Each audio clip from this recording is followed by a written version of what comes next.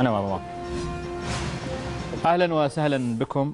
أه قبل فترة أه طرحنا مشكلة مستشفى النقاهة والموقع السيء واليوم نعاود طرح القضية علها تجد صدى خاصة بعد تعيين الدكتور محمد آل هيازع وزير الصحة الجديد. لقضية القضية اليوم نطرحها بعد أن التقينا مع النزلاء في هذا المستشفى. دعونا نستمع لهم في هذا التقرير وبعده نعود للنقاش.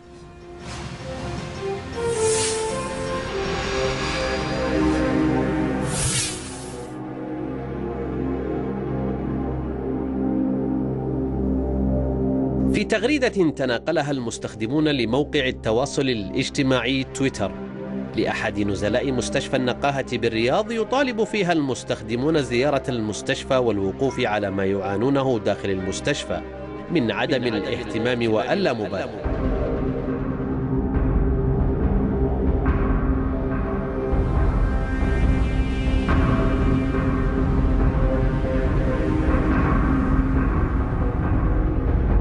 ظافر الشهراني سفير الأمل كما لقب نفسه. قد منع من الحديث وهدد بالطرد من المستشفى بعد استجابة عدد من الإعلاميين لدعوته. ولكنه أصر أن يتحدث وأن يكون سفيرا لمن يعانون داخل هذا المستشفى فكان حديثه ليا هلا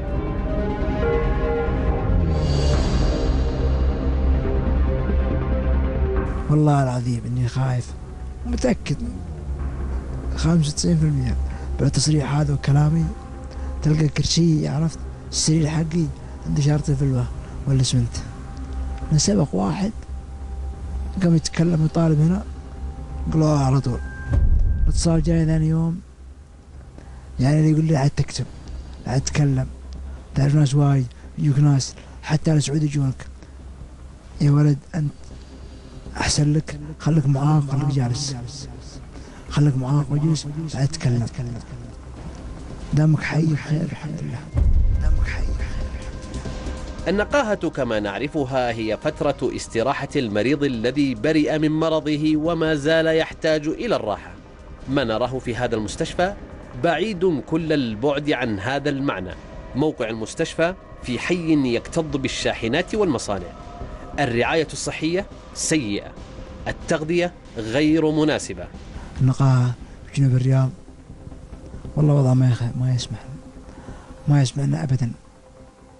وساخة بزبالة عدم اهتمام. ما حد يجيها. خدمات؟ ضحك والله. ما في خدمات. والله ما في خدمات. والله معلش سيئة. ما دام بساس عندي في الغرفة تاكل أكلي. إذا اللي عندي المرافق مش موجود. والله رقدنا الأكل. والله. هذه لوزير الصحة أقول دخل والديك ما تخليها. ترى متنا تعبنا والله. والله تعبنا. فوق أمراضنا فوق إصاباتنا فوق اللي فينا. معانين بعد. أقول لأخوي مع الوزير تكفى. أخوي تاج راسي لا تخلينا. نبغى سيارة. لو عندي إمكانية والله ما أخذها والله. عقب طلبات بس تكفى. عطنا حق عطنا حق من عقب. معالي وزير الشؤون الاجتماعية. ومعالي وزير الصحة. ألا يستحق أن يكون هذا الملف ضمن الأولويات في حقائبكم الوزارية؟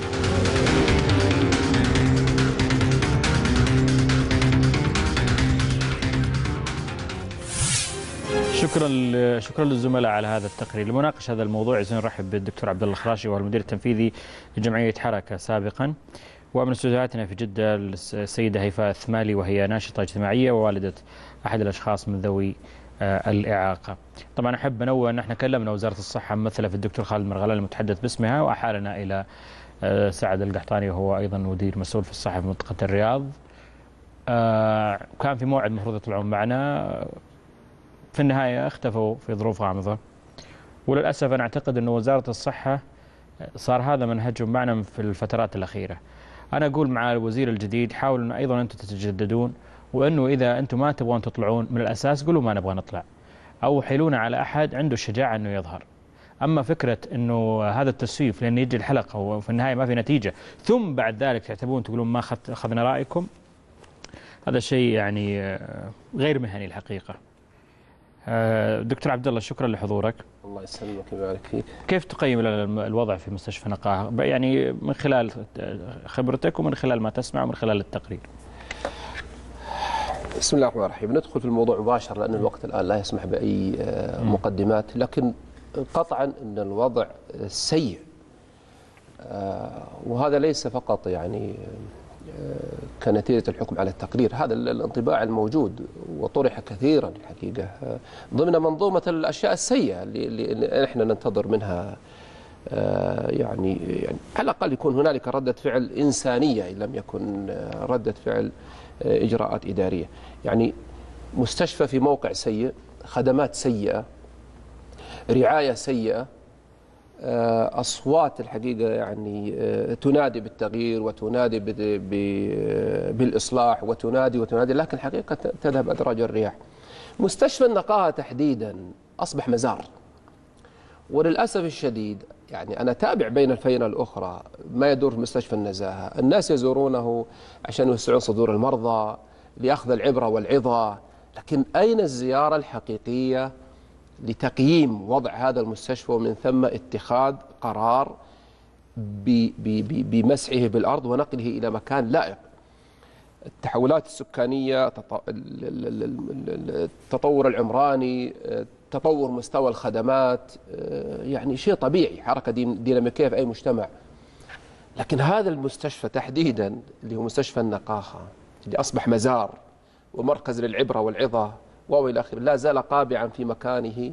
وهذا مؤشر لنظرة المسؤول للشريحة التي تقبع في هذا المكان كما هو الحال لنظرة ذات المسؤول والمسؤول الثاني أيضا لشريحة ذوي الإعاقة الذين يعني يقبعون في دور التأهيل الاجتماعي. هذه الشريحة تعاني الأمرين. من الناحية الصحية وهي معاناة. ناس يعني مقعدين.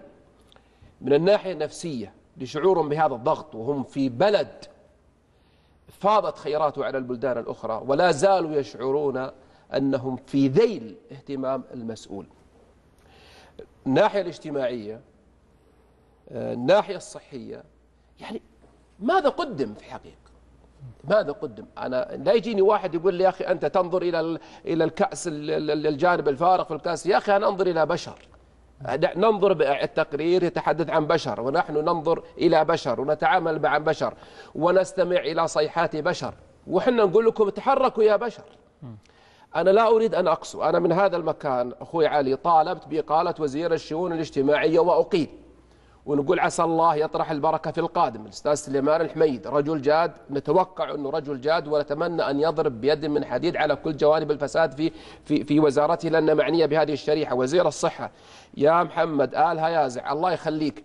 أنت الآن مقبل على مرحلة جديدة. أنت قلت وصرحت في وسائل الإعلام أن الملك قال لك شخصيا كل ما تحتاجونه مجاب.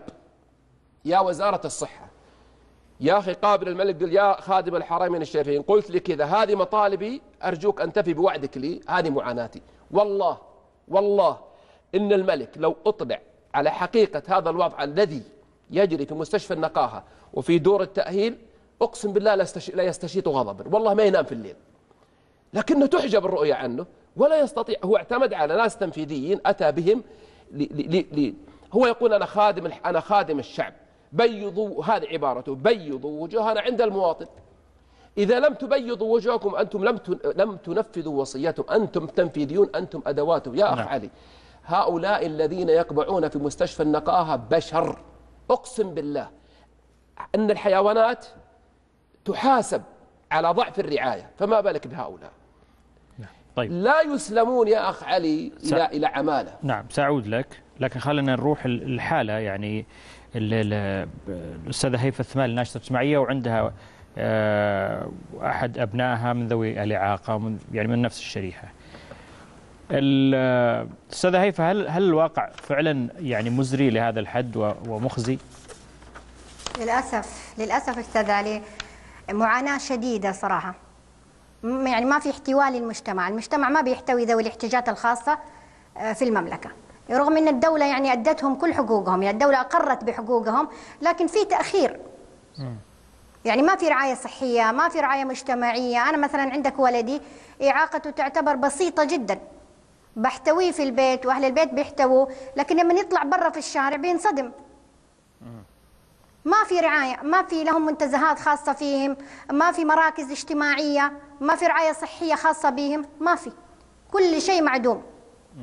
طيب هل المسألة مرتبطة يعني أنا بدأت يعني أهتم بها. هل المسألة مرتبطة بهذه الشريحة لسبب واحد. تفضلي تفضلي. السبب هذا شو؟ إنه أنا بشوف معاناة ولدي. ومعاناة ولدي بسيطة ما بالك بال- بالمجتمع. المجتمع مليان.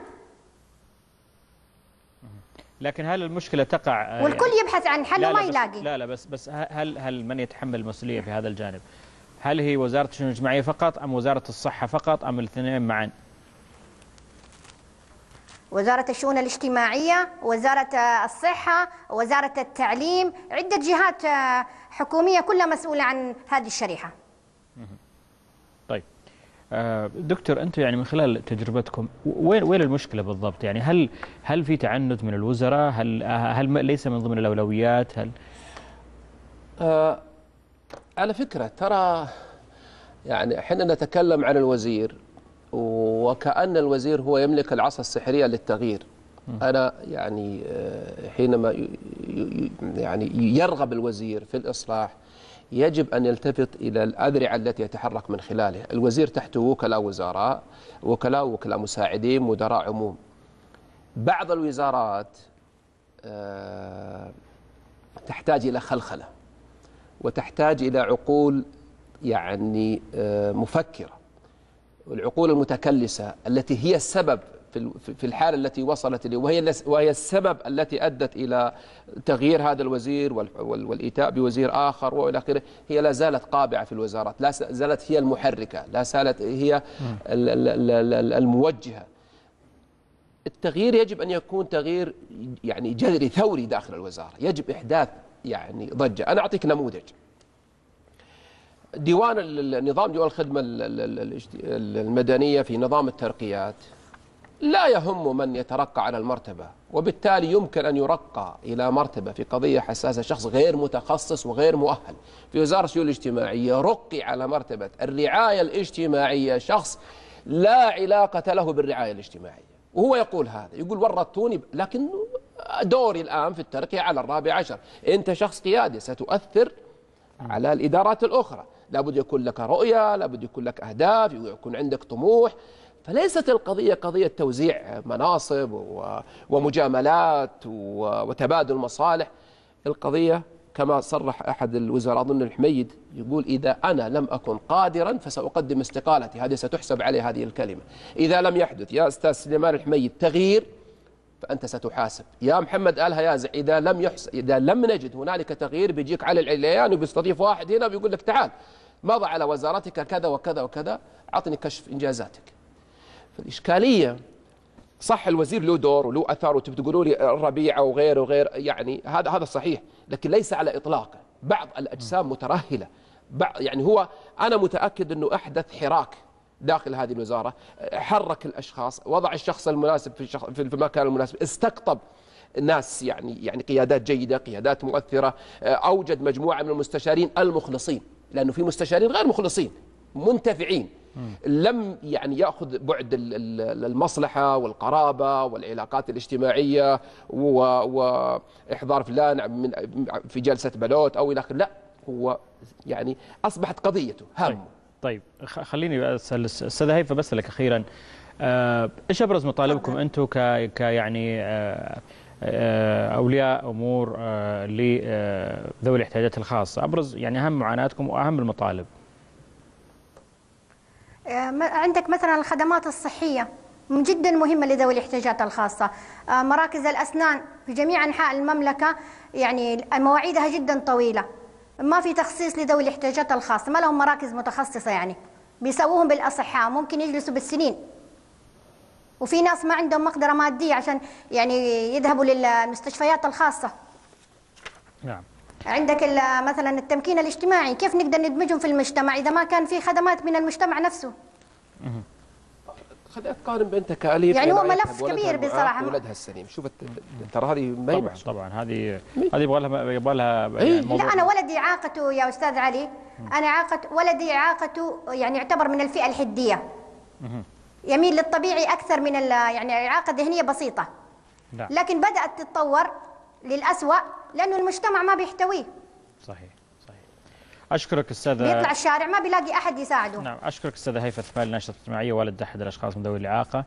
أتمنى له الشفاء إن شاء الله. وأن يدمج في المجتمع بشكل صحيح وهذا يعني دور أكثر من جهة. شكرا لك دكتور عبد الله الخراشي على. يعني آه، محبتك للوطن وللوسطاء وعلى شفافيتك. وهذا المنبر منبرك آه، ومنبر آه، من يمثلون على نفس ال- النهج.